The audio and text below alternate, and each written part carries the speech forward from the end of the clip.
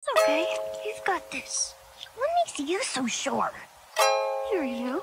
But if you want, I can fly right next to you the whole way down. Oh.